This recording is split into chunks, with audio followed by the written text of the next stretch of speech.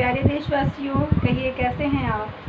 मैं सुमित्रा सिंह, आज आप लोगों के साथ फिर एक नया टॉपिक लेके प्रेजेंट हुई हूँ कि कंफर्ट जोन से कैसे बाहर हैं। कहने का मतलब है कि जो आरामदायक ज़िंदगी हम जी रहे हैं, उससे कैसे बाहर है। जैसे एक जॉब इंसान को मिल जाता है तो वो चाहता है कि उसी जॉब में हम हमेशा रहें और हमारा जो रेगुलर रूटीन है रेगुलर वर्क है, वही होता रहे लेकिन इससे दोस्तों आगे नहीं बढ़ा जा सकता है। अगर आप कुछ बड़ा करना चाहते हैं तो आप इस कंफर्ट जोन से बाहर आएँ और खुद का मेहनत से आपके अंदर जो टैलेंट है, अपना वर्क शुरू करें। अपना नया काम या नया बिज़नेस शुरू करें, जिसमें आप हंड्रेड परसेंट दें तो आप हंड्रेड परसेंट देंगे तो उसका हंड्रेड परसेंट जो भी बेनिफिट होगा, वो आपके खाते में आएगा। लेकिन अगर हम काम करते हैं कंफर्ट जोन में हम रहते हैं हमें कोई रिस्क जोखिम उठाने की ज़रूरत नहीं पड़ती जॉब के लिए, एक बार पढ़ाई के लिए जॉब मिल गया, बस हो गया। लेकिन उससे हम लोग ज़्यादा आगे बढ़ नहीं सकते, अपना कोई बड़ा काम या नाम नहीं कर सकते हैं, या बहुत बड़ा आदमी नहीं बन सकते हैं। तो उसके लिए हम लोग को क्या को क्या चाहिए कि हम अपने कंफर्ट जोन से बाहर निकले? खासकर मैं ये बात प्राइवेट सेक्टर वालों के लिए बोल रही हूँ। तो एक प्राइवेट जॉब में अपना पूरा जीवन बिता देते हैं, उस कंफर्ट जोन में पड़े रहते हैं। लेकिन दोस्तों, अगर आप कुछ बड़ा करना चाहते हैं तो अपना खुद का बिज़नेस अपना काम की काम स्टार्ट कीजिए। क्योंकि आज एग्ज़ाम्पल उदाहरण के तौर पर जिन लोगों ने स्ट्रगल किया है, भले उनके पास कोई डिग्री ना हो, कोई क्वालिफिकेशन ना हो पर उन्होंने अपना काम स्टार्ट कर कर के फेल हो हो के उन्होंने फेलियर बन के इतना कुछ सीख लिया है कि आज वो सफल है और एक अच्छे सफल बिजनेसमैन के रूप में एक बड़े मुकाम पर है और उनके पास वो सब कुछ है जो एक इंसान चाहता है। तो उन उन एग्जाम्पलों को अनदेखा नहीं किया जा सकता है।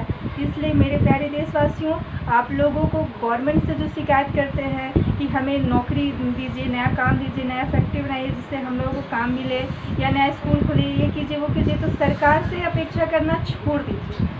अगर आप एजुकेटेड हैं और नहीं भी एजुकेटेड हैं तो आपकी एबिलिटी के अनुसार कोई भी स्वरोजगार हो कुटूर उद्योग हो या कोई वृहद उद्योग हो, आप उसमें अपना ध्यान आकर्षित करें। हो सके तो बैंक से लोन भी ले। लोन भी बहुत आसानी से, नहीं, फिर भी थोड़ी सी मुशक्क़त करने से मिल ही जाती है। या कुछ जमा नौकरी, सेल्फ नौकरी भी करें कुछ दिन। उसके बाद कुछ नौकरी करके, पैसा जमा करके भी अपना बिज़नेस स्टार्ट कीजिए। अगर आपको बड़ा आदमी बनना है या बड़ा काम करना है सेल्फ डिपेंडेंट होना है फाइनेंशली फ्री होना है तो दोस्तों, मेरे देशवासियों, आपको अपना काम शुरू करना ही होगा। एक छोटा से छोटा व्यवसाय या बड़ा से बड़ा व्यवसाय। बड़ा व्यापारी भी व्यापारी ही कहलाता है, छोटा व्यापारी भी व्यापारी ही कहलाता है। और कब छोटा व्यापारी बड़ा हो जाता है, पता ही नहीं चलता। इसलिए आप लोगों को कोई भी काम छोटा समझने की ज़रूरत नहीं है।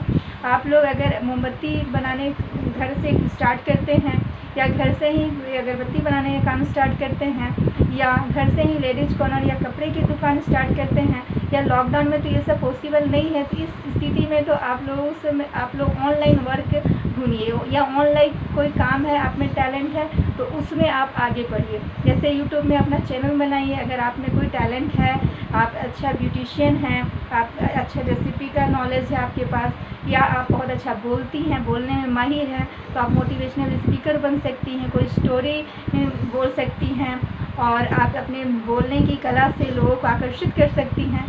तो आप अपना ये एक मोटिवेशनल स्पीकर बनने के रूप में भी आप अपना कैरियर आजमा सकती हैं। ट्राई करने में कोई भी कोई भी दिक्कत नहीं है। कोशिश करने वालों की कभी हार नहीं होती।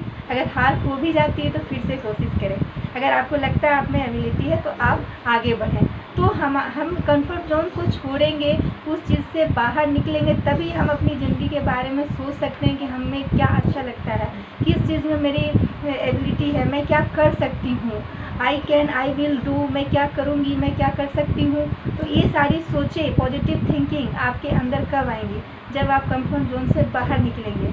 तो कंफर्ट अभी जो आप लोगों को बहुत कोई को अगर नौकरी से निकाला गया है तो आप निराश ना हो, समझिए, ये आपके लिए गोल्डन अपॉर्चुनिटी है कि आप सोच सकते हैं कि लाइफ में हम बड़ा क्या करें।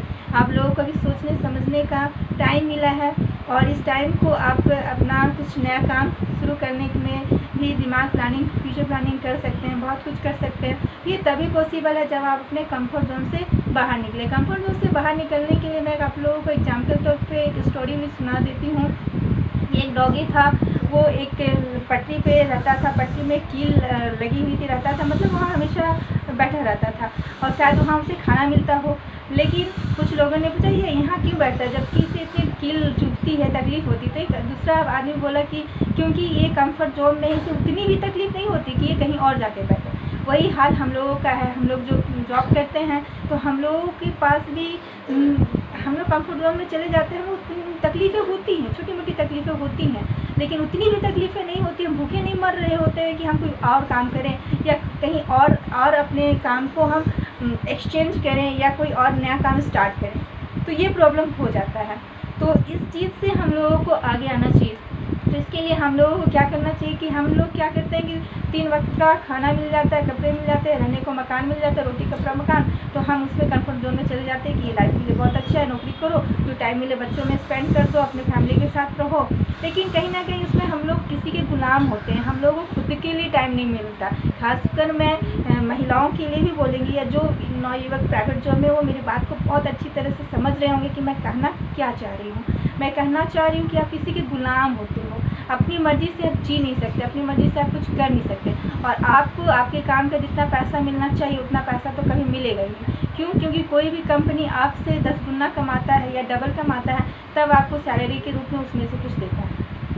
कोई भी अपना पॉकेट से नहीं लेता। अगर कोई कंपनी लॉस में जा रहा है तो उस समय एम्प्लॉय को वो नहीं रखेगा या एम्प्लॉय को चाहेगा कितने कम पैसे में अच्छा एम्प्लॉय मिल जाए। और मिल भी जाता है, क्योंकि शिक्षित बेरोजगारी इतनी है कि मिल भी जाता है। तो इसलिए मैं कह रही हूँ, सबको प्रेरित कर रही हूँ, मेरे कंफर्ट जोन को छोड़कर आप लोग अपना बिज़नेस अपना काम, अपना धंधा स्टार्ट कीजिए। चाहे जो भी छोटा से छोटा काम हो, अपनी कोचिंग खोलिए ट्यूशन पढ़ाइए बच्चों को, या सिलाई कीजिए, कढ़ाई कीजिए, या जो भी वर्क में आप मास्टर हो, उसमें स्पेशलिस्ट हो, उसमें वो आप काम कीजिए। अगर आप पढ़ी लिखी हैं, शिक्षित हैं तो आप मोटिवेशनल स्पीकर बनने की कोशिश कीजिए ट्राई कीजिए वीडियो बनाइए यूट्यूब पर अपलोड कीजिए।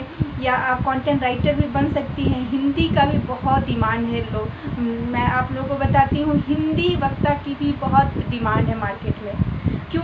क्योंकि बहुत कोई तो हिंदी सही से बोल भी नहीं पाते हैं। तो अगर आप हिंदी भी अच्छा बोलती हैं तो तब भी आप, आपका जो वॉइस है, उसकी बहुत कीमत है। तो अपना, अपनी टैलेंट का, अपनी कीमत को आप पहचानिए और उसे आप प्रेजेंट कीजिए। तो इस तरह से आप कंफर्ट जोन से बाहर निकले और लाइफ में आगे बढ़ी कहने को तो बहुत कुछ है। मैं तो तीन चार घंटे तक मतलब इस टॉपिक पे बात कर सकती हूँ और लाखों, करोड़ों लोगों के सामने देश विदेश कहीं भी जाके मैं स्पीच दे सकती हूँ। मेरे अंदर इतना सेल्फ कॉन्फिडेंट है और मैं इतना बोलने की ताकत रखती हूँ, सच बोलने की भी ताकत रखती हूँ। एक्सपीरियंस से मैं बोल रही हूँ क्योंकि मैंने भी प्राइवेट जॉब किए हैं, धक्के खाए हैं। और उसी धक्के को अब इस उम्र में मैं सोच रही हूँ, क्योंकि मुझे अभी एहसास हो रहा है कि क्यों ना अगर मैं अपना बिज़नेस की रहती तो आज मैं बहुत बड़ी मुकाम पे होती। प्राइवेट जॉब से मैंने पैसे तो कमाए कंफर्ट जोन में लाइफ तो जी, लेकिन मैं बहुत बड़ा नहीं बन पाई। तो आप लोगों को मैं अपना पर्सनल एक्सपीरियंस शेयर कर रही हूँ अभी भी जाग जाओ, अभी भी सोचो कि लाइफ में क्या करना है और आगे बढ़ो। इस कंफर्ट जोन से बाहर निकलो आनंददायक ज़िंदगी से बाहर निकलो और आगे बढ़ो। जिन्होंने भी अपना बिज़नेस किया है, वही आगे बढ़ते हैं। नौकरी करने वाले कभी आगे नहीं बढ़ा। आरामदायक ज़िंदगी चलती है, कोई जोखिम उनके पास नहीं होता, कोई रिस्क नहीं होता बिज़नेस डूबने का या ताने किसी का सुनने का नहीं होता, लेकिन फिर भी ये बहुत है। खासकर मैं शिक्षित महिलाओं को बोलूँगी जो सी टेट की तैयारी करती है बी टेट की तैयारी करते हैं जे टेट की तैयारी करते हैं, लेकिन तैयारी करते करते भी कुछ नहीं होता। बहुत कम लोगों का ही होता है, क्योंकि उनकी वैकेंसी नहीं रहती है। फिर प्रॉपर तैयारी करने का समय भी चाहिए ना, समय भी नहीं रहता उनके पास। तो बहुत सारी समस्याएँ हैं तो उन महिलाओं को भी मैं इंस्पायर करूँगी कि आप खुद का बिज़नेस करें, खुद जो टैलेंट है उसको उभारें और जो प्राइवेट जॉब कर रही हूँ, उसमें भी काफ़ी परेशानी आपको होती है क्योंकि मैं उस से खुद मैं झेल चुकी हूँ कि घर और बाहर कितनी, कितना संभालना पड़ता है। तो इन सभी चीज़ों से आप बाहर निकले, खुद का काम स्टार्ट करें। इसी की, इसी के साथ मैं अपने कथनों को, विचारों को विराम देती हूँ।